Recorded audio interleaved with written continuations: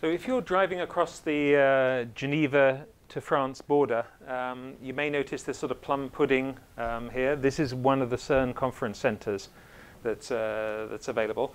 But nestling behind it, which is less well visible, is one of the CERN experiment surface buildings. That's the Atlas experiment. So um, my job uh, is to look after the compute and monitoring at the CERN data center. Um, the view from just outside my office is, is a rather intriguing one, which is uh, the antimatter factory is just along the road. Um, it's really uh, not like Dan Brown described in Angels and Demons, if anyone has read it. Previously, I'd worked for IBM here in the UK, in, in Winchester, um, and then after that, uh, moved out to Deutsche Bank in, in Switzerland, where I looked after the private banking infrastructure in Europe. So, CERN's mission it's a little bit blurred, but I'll, I'll read you through things. It, it's more than just the physics. The, the, the physics is part of it, uh, pushing back the frontiers of knowledge. But at the same time, we want to be developing technologies using that goal to then enhance underlying solutions and then be able to bring that back to the rest of the world. It is also, though, to make sure that the members of the public that we are producing high quality scientists for the future. And this involves naturally confronting difficult physics problems, but also setting up a framework under which people can come to CERN for a short period of time, become well trained, and then return to their member state countries uh, after that. So it's very much a question of focusing on education. And then it's a multicultural environment. Um, there are over 100 different countries, uh, nationalities working at CERN. And this is a way of focusing on science as a common theme around which many different nationalities can work together to solve a difficult problem. CERN itself uh, was founded in 1954 um, as a place where scientists could work together for, for peace. Um, the budget is around a billion dollars a year. Um, that's coming from the different member states, um, and there's a list there. Now, a majority of them are part of the European Union, and we'll save the question for uh, the question and answer session. um, however, it's not a, a, complete overlap. So Ireland is not a CERN member. Um, Israel is. Um, so because the organization was formed before the European Union, then it means that it's structured independently of that as an international uh, organization. Um, so for the budget of a, of a billion dollars, um, that corresponds to roughly a cappuccino for each person in the member states. So it's a reasonable amount to be giving uh, to get the World Wide Web and understanding the nature of the universe. Um, that having been said, um, there are a large number of nationalities. The UK contribution is down here. So there are 240 people from CERN uh, working at CERN who are UK nationals um, and a set of younger people, fellows, doctoral students, and, and technical students that are then uh, collaborating. However, it's a worldwide facility. Uh, there are member states that fund the laboratory, but this is being used by everyone across the world. So the actual facility itself, so I'd mentioned the antimatter uh, factory which is there, um, and it's actually derived from a set of accelerators that were built from the 1960s onwards. So the earliest ones, the PS, the proton synchrotron, was the first one built. Then the second one was the SPS. And then the larger tunnel, which is used now by the Large Hadron Collider and was previously used by the LEP uh, colliders. So what happens is that from a small bottle of hydrogen down here, we strip the electrons off and then take the protons, the hydrogen nuclei, and then accelerate them out. And this is what's nice about having rings, which is you can gradually speed them up. And then eventually those get sent round and finally sent around where they collide at the four experiment sites. If you get a chance to go underground, and CERN now has finished its run of the accelerator, so people are now going underground to do maintenance work. Um, so you can actually go underground um, there are even possibilities for visitors to go along, book places, um, and have a chance to go and see the, the accelerator. Um, So what you would see is you'd see these long blue, blue, tubes. There's 1,200 superconducting magnets, um, and these are cooled down to about minus 271 degrees centigrade, uh, and that allows them to bend the beams of protons around. Inside there are two small tubes, like uh, one centimeter across, and this is where the actual beams go, um, and those are evacuated to levels below the pressure on the moon. At four places, there are these cathedral-like structures. This is about the height of uh, St. Paul's um, in terms of its size. It weighs about 7,000 uh, tons. And as you can see from the person here, these are large. Um, it, they can be viewed as digital cameras. Um, so they're like 100 megapixel cameras, but they take 40 million pictures a second. Um, and that's what produces the one petabyte. So it, it's faster than your average uh, Instamatic. a bit bigger. Yes. so the LHC itself, as, as Gav mentioned, was based off a, set of work that went on in the 19, uh, so from theories in the 1960s. Professor Higgs from Edinburgh uh, was one of the proponents of that. Um, and then in the 1980s, people started to think, could we actually build something that would allow us to discover the Higgs boson? Now, in the 1980s, building a machine of this size would not have been feasible. The technologies were missing. Um, but a set of people said, well, how big do we need to build it? And, well, let's imagine that someone invents superconductivity and uh, we can have superconducting magnets. Then wouldn't it be great? And this is the kind of timescales that now large science is having to look at. We're looking at multi-decades, theories, planning, and then eventually realization. And one of the things that Professor Higgs said that was uh, during a very emotional uh, speech as he discovered this particle that he'd been waiting for for 50 years um, was that he hadn't imagined that this was something that experimental physics could prove in his lifetime. But CERN offshoots are, are more than that. Um, it, two days ago, we just had the, uh, the event at CERN, the, the 30th anniversary of the paper on the World Wide Web. Um, so Tim Berners-Lee, again a, another Brit, um, produced an idea um, and wrote up a paper. Um, his supervisor wrote vague but interesting on the, uh, the outside. Um, that is the web. Yeah, exactly. Um, and th there's a very interesting set of videos where uh, they explain some of the, uh, the thoughts behind it and how things evolved, and equally some of the dangers of what's come along. Um, this was the first World Wide Web server. Initially, there was one. It sat in Tim's office, plugged into the network. But because there weren't many power sockets in the office, then when the office came to be cleaned, the cleaner would come in and unplug this funny black box and then uh, plug in the, the, the, cleaning machines, clean it up, and then plug it back in again. So he had to stick a sign on it that says, this is a server, do not unplug. Because the, the internet generally would go down if this guy was, uh, was unplugged. Um, but already from that, the ideas grew, and in particular, uh, a couple of years after the first thing was done, we started with some graphics.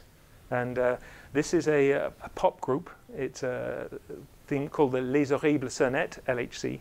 Um, and they sing a set of unique physics love songs, um, which, if you go onto YouTube, there are some, some classics. Um, one thing that, about this that was clear, though, was that at the time there were multiple other solutions, um, Archie, Gopher. Um, but because CERN, in its nature, wanted to give things back, the uh, approach was very much one of saying, this invention has been done, now put it into the public domain. And that was the basis, I think, under which the World Wide Web became the dominant technology, because it was something people could build on. There are other offshoots that come along, um, and for example, hadron therapy, which allows you to use um, targeted beams of protons to address cancer. It's a lot more effective than, than X-rays. Um, Equally, imaging, the MRI machines, scanners use similar magnet technologies. Um, other spin things like capacitive touchscreens, the basis for uh, many of the initial mobile phones. Um, so when we show the kids around the, uh, the, the, CERN site and we explain, imagine your life if you had no World Wide Web and no smartphones, um, then you contribute both of those back to CERN. so how do we process the data? It's a long chain. Um, so the detectors themselves produce streams. that then have to be filtered down to get them down to reasonable levels. A petabyte a second we can't afford to record, even if technologically we could find ways to, uh, to do it. And this is then stored eventually in the data centers on tape. Um, we use tape widely. Uh, it's a very cost-effective medium. Um, a little bit slow at times to get the first byte, but actually once it gets going, it's really very fast. Um, at the same time, we're doing simulations, and simulations allow you to say, if the theory is correct, what should the world look like? And then we match those two together, and then based off that, we're able to make the appropriate discoveries. And that's the chunk of work that goes on in the CERN data center. CERN itself is at the center of a grid. Um, this is a multi-site computing farm. Um, it's 170 uh, sites around the world uh, collaborating now as part of this. And with those, we arrange that we keep a copy of the data and that 11, 12 big other sites keep a copy of the data too. That means in the event of anything going wrong, we'll be able to get that data back again. And then universities contribute as they can their computing capacity. And we then hook this all together into a single computing unit for the physics. So what we do see is that with the data rates that we're seeing, varying rates, in particular one of the experiments um, for a month every year, we choose to collide lead ions rather than protons. So this is 200 protons and neutrons together. Um, and that then allows us to create conditions just after the Big Bang to simulate quark gluon plasma. Um, and those data rates then become significant compared to the data rates when we're just colliding uh, hydrogen. We have two data centers, uh, one in Geneva and one in Budapest. Uh, and we link those together then with the outside world um, to allow the other universities to participate in analyzing this data. Um, so 2018 um, was the last year of the run, the run two. Uh, we had a first run earlier on, now we are into the run two. Um, and the sort of volumes that we're seeing, especially here during these heavy ion runs, just drive this uh, exponential growth. Um, so here we're seeing 330 petabytes in total stored. Um, around 100 of that has come from the 2018 run on its own. At the same time, the computing capacities needed are going up significantly. So we're currently processing around 400,000 concurrent jobs around the grid at the same time. And again, very similar curves that we have to be able to maintain and continue. And all of this is being done on a constant budget, which is one of the challenges of the, of the organization. It's very important that we don't have the physics being limited by the computing. And then I think the most difficult diagram is this is the network diagram. Um, I have great respect for the people that are managing the, the routing tables for, for all of this. Um, by its nature, we're connecting together a huge number of sites we use the academic networks, the GÉANT network, uh, very intensively. And this means that those interconnections between the universities, while CERN uses them, are also then available for, for other universities to use as well. So at the moment, we are currently just come to the end of run two. We have a long shutdown two here, and previously we had a long shutdown one. What happens is that we run the accelerator, we try and keep things running fairly smoothly, and then after that, you have a period of something like 18 months or two years when you can let the accelerator cool down so such that you can get in there. You can repair anything that needs repairing, you can do upgrades. Um, and then at that point, at the end of that long shutdown, you shut everything up again, you cool the ring down, and then you start the next run.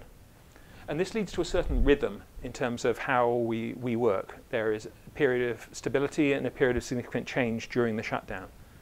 So ironically, we're often busier during the shutdown periods because we're making the changes compared to during the runs where we're trying to keep things going to maximize the use of the, the accelerator. What were the red dots on the? Um, so the oh, peak luminosity. red, right, so what currently what the aim is, is that as part of the the, the beams, they don't just send around one proton in one direction and one in the other direction and hope that you can line them up. They're, they're pretty small. Um, so what they do instead is they send around bunches, um, and with those bunches, then you hope you get a certain number of collisions. And gradually, what they're doing is to increase the number of protons in each of the bunches, which then increases the chances of collisions. Um, So that suggest then for the high luminosity, we're just concentrating those bunches so more of the bunches get used? correct, yes. So basically, you make sure you get more collisions within a certain time slice. Um, that creates a set of computing problems that I'll come on to in a moment. So from a, a, computing point of view, we follow the similar cadence. So we, we, started off in the 60s and 70s with mainframes, and then after that, we had a variety of uh, Unix workstations. Um, we even tried some Windows compute uh, facilities at one point. Um, and then eventually, with the Linux growth, we were able to actually standardize on a single architecture, which has been a huge benefit. And it's followed a very nice growth curve. As with Moore's law, we see things growing in the past at a, at a nice rate. We were able to standardize on Linux, and then with that, consolidate the computing facilities into a single facility rather than dedicated environments for each experiment. However, at the time, uh, to manage farms of a thousand machines was something that peop other people didn't do. We're still very early on in the web days. Um, so we had some European Union funding to develop some tools. Um, and in particular, tools like Quattor for configuration management and Lemon were developed. They are open source tools, but the difficulty is that they didn't build a community behind them. Um, and that's one of the key aspects that, that we find. It's one thing to do some initiative at CERN and give it out to the world, but you need to build the community. Um, and that meant that we took a slightly different approach when we came to doing the long shutdown two. Rather than us inventing tools, we adopted tools from elsewhere and then we enhanced them to make them better for the CERN use cases. And there we use tools like OpenStack for the cloud, Puppet for configuration management, and Grafana for the displays. Um, Going forward, now we're starting to face long shutdown two. We're now seeing the growth of Kubernetes and Helm as the underlying toolset. Much of these transitions are driven also by the fact that many CERN staff will be doing shorter contracts at CERN. So they're coming out of the universities with a skill set. And if we tell them, for example, please maintain Quattor, you need to know Perl, um, it's not very attractive to come to CERN to use Perl. Whereas if what you do is you say, oh, you can do Go and containers and uh, this kind of thing, then it's a lot easier to justify. So the sort of size of uh, what we're doing, this is the, the CERN OpenStack Cloud. So it's around 300,000 cores um, in terms of the, the total pool spread across these two data centers. Um, but already we're seeing a significant growth in this area of Magnum clusters. Those are Kubernetes clusters that the users are spinning up in a self-service way. So we've already got over 500 Kubernetes clusters being used by the experiments. It's a fairly busy cloud. There's, there's lots of new virtual machines being created, some work being done, but there's also long-term uh, machines that are run. Uh, the pension fund, the holiday uh, reservation databases, they all go onto this uh, facility. So it's about 90% of the total capacity that uh, is allocated out uh, come from this cloud. So what we learned from this? Um, we found that the interaction between an organization like CERN and open source is a very natural fit. Uh, we're multicultural, um, we're used to sharing.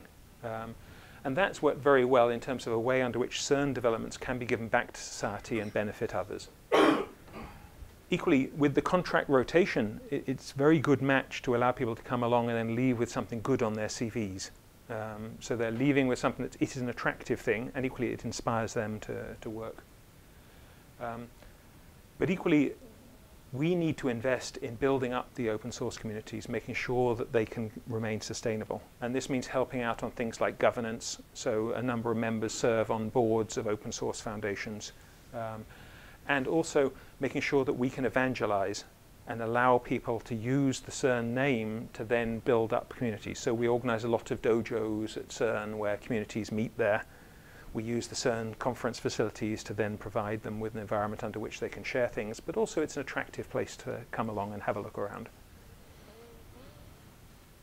So now we basically moved over from a set of proprietary open source developed tools at CERN into a set of public general tools that everyone can download and use.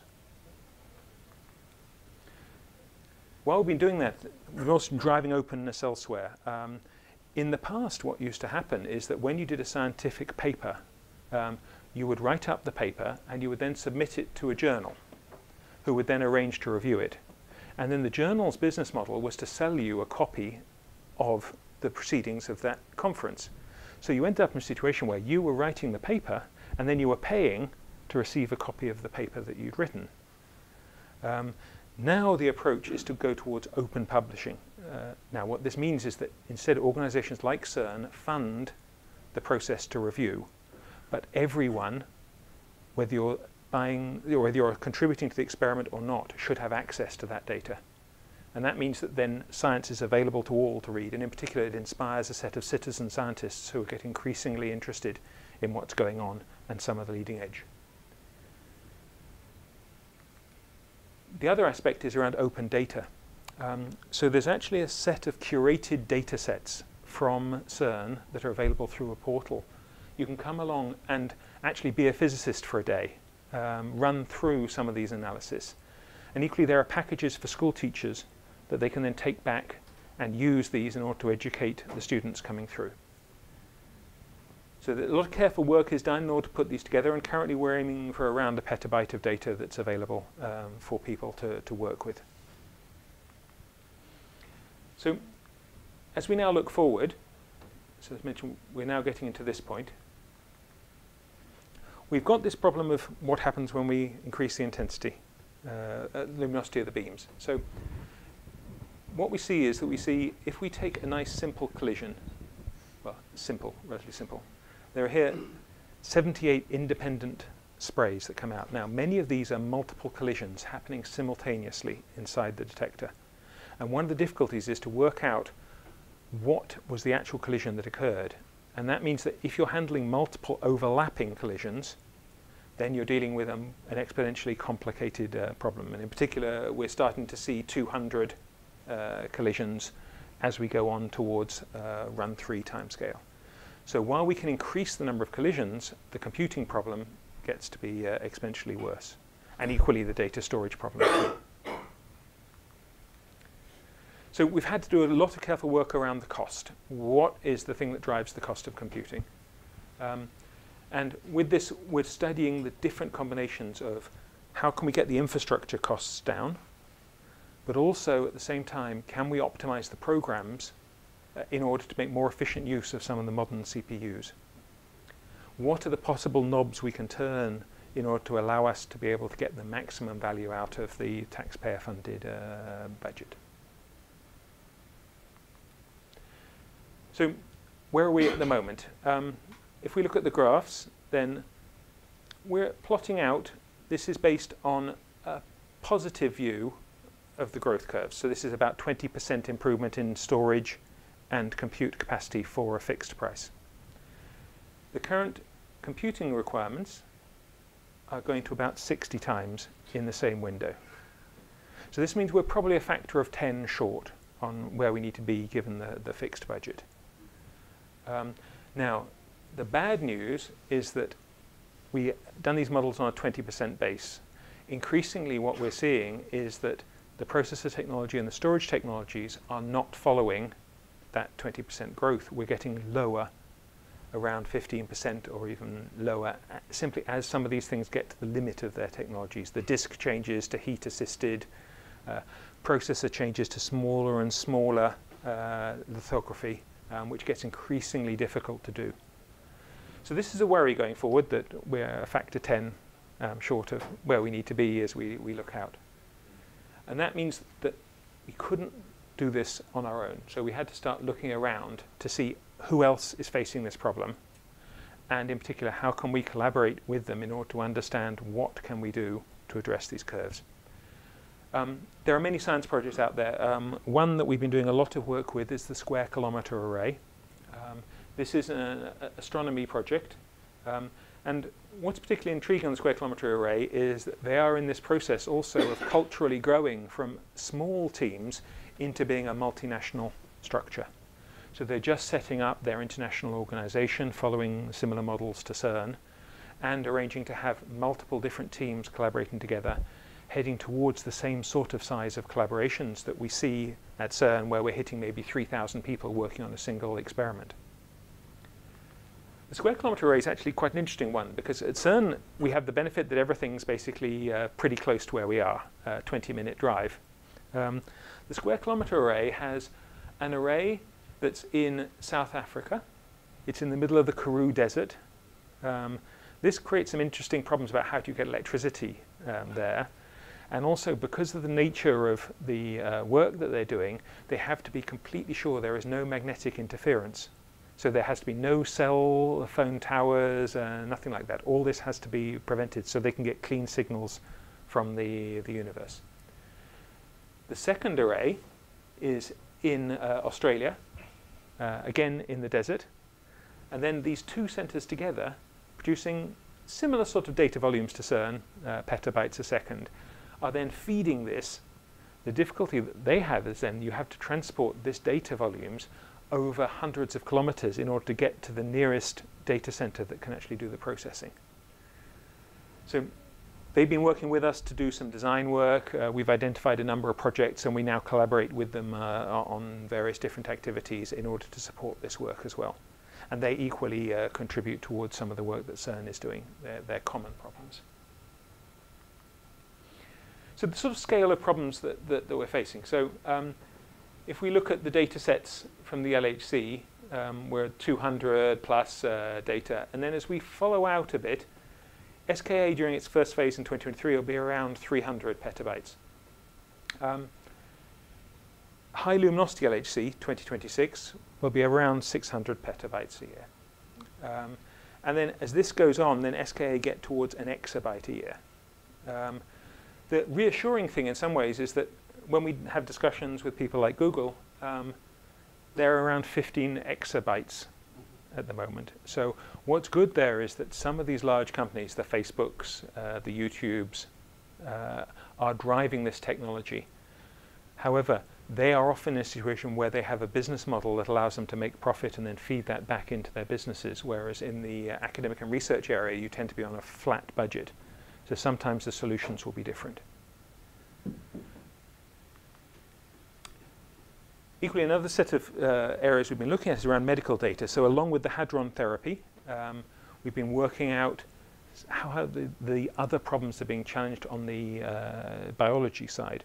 Um, so organizations like uh, EBI in, in Cambridge, the uh, European Biological Institute, they do genomic research and uh, activities such as that. And they already have the problem of personal genome analysis, which is producing significant data. The current estimate on personal health devices, the smart watches, is that this is going to be producing 150 exabytes a year in order to provide and support these smart devices. So that sort of scale of things is so much beyond what we have to cope with, especially because it's very much Internet of Things, distributed uh, environments. So it's really not clear how many of these things are going to get solved if they become ubiquitous. So how do we solve the problems? Normally, as we do in uh, physics collaborations, a big problem, you get a set of people who all want to solve it together.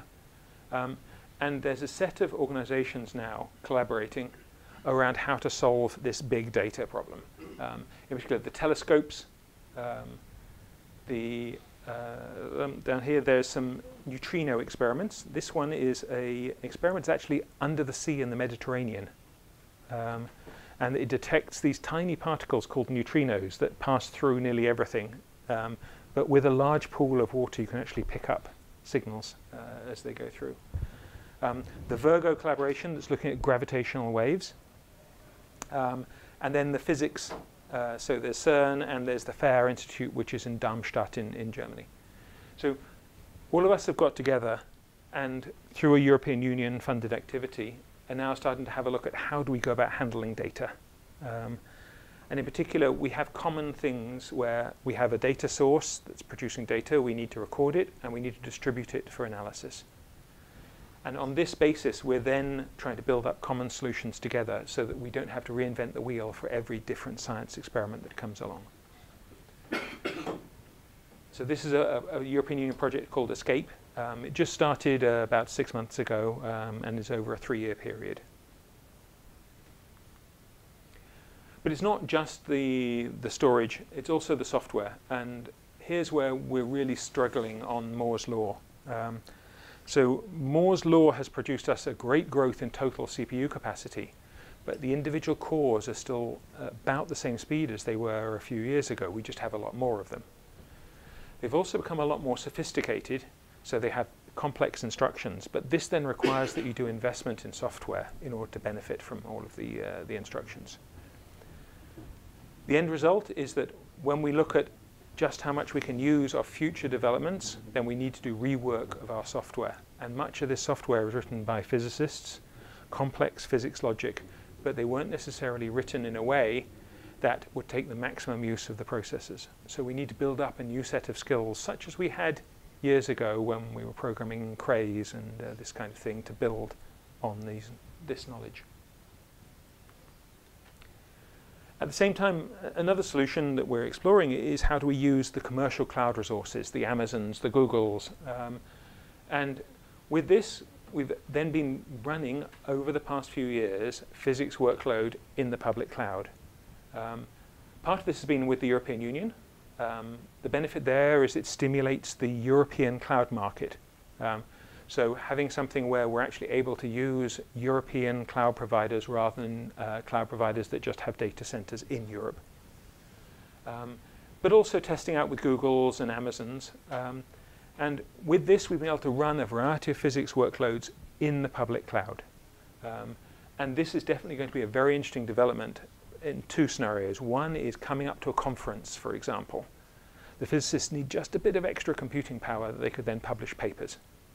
And for them, potentially they could then look to invest in an external public cloud. The other is for smaller universities, it's actually cheaper for them in some situations to be using a public cloud to provide their contribution rather than having an on-premise uh, data center. Another thing that comes along is, is, the idea that maybe we can use supercomputers. Um, supercomputers, very special architectures, fast interconnect, uh, and it can be very difficult to adapt the physics programs to work in these environments.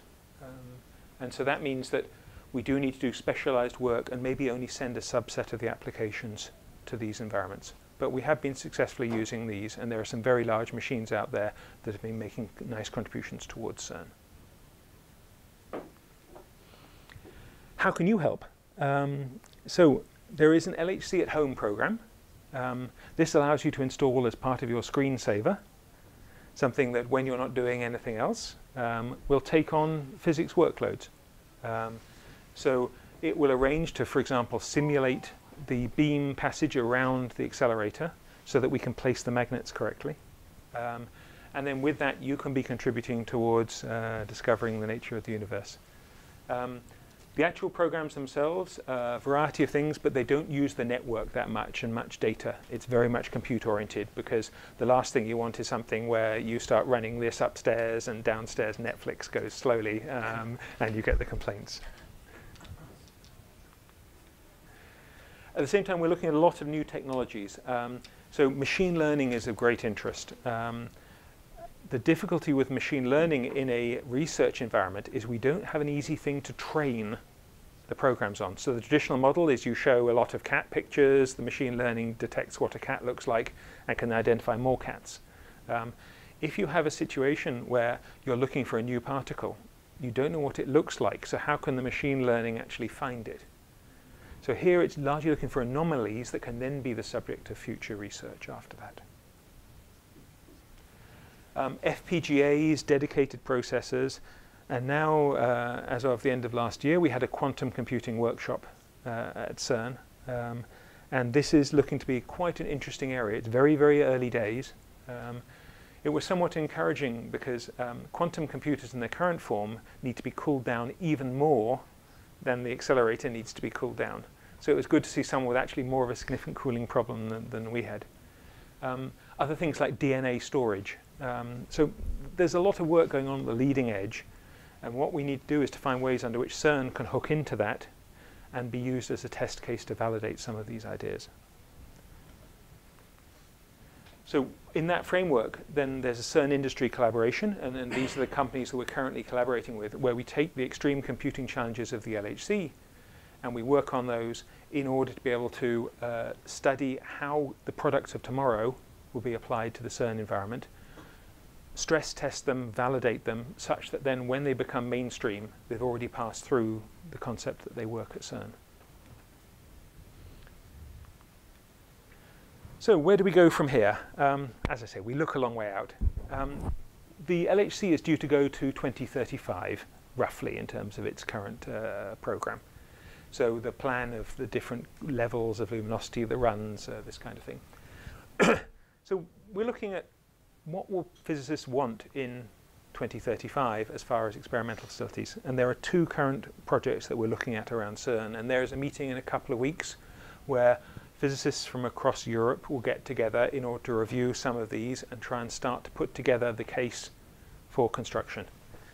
Clearly, building these equipments isn't cheap. Um, we're talking billions and billions. Um, so you don't want to do several of them across the world. Um, and the benefit potentially of doing something at CERN is that you can use that accelerator infrastructure that I'd shown earlier where we can accelerate things up uh, in order to then using that for the, uh, the experiments. So there are two that we're looking at. Um, the first is a linear collider. Um, so here you fire beams one way and you fire beams the other, and you arrange that they, they collide. What's good there is the amount of energy you need is less because you don't have to bend the beam around, which is one of the things that needs a lot of energy in order to do. The other thing that's quite nice is actually you can build a little bit of it to start with, and then tack extra bits on in order to get a longer length and therefore more energy, and then you carry on going. And so they have a plan that looks out for that. And they've done some careful work with the geology to try and avoid running into the lake. Um, and what's nice here is that it's the Jura Mountains, which are uh, very good geographically chalk uh, limestone structures under which we can be building these things um, underground. The next one is a 100 kilometer ring round, so compared to the 27 kilometer ring of the LHC. So we'd use the LHC as a kind of booster startup and then after that, send it round 100 kilometers of ring. Now, there is the minor problem here that it goes under the lake. Um, now, luckily, the lake in this part isn't too deep, so we could still be putting it down. The LHC is 100, me 100 meters underground. Um, but it would mean going under the mountains, um, which, in terms of construction, would appear to be quite a difficult problem. What's been great though is since the 1980s when we built the uh, LEP tunnel that then became the LHC tunnel, building tunnels like this has become a much more common thing. Um, you know, we were quite leading edge in terms of doing it. Now, people are building tunnels using standard boring machines like Crossrail, um, and with that, they're then able to uh, deliver uh, circular rings like this with great precision. So we're hoping with that that that will at least help on some of the construction costs.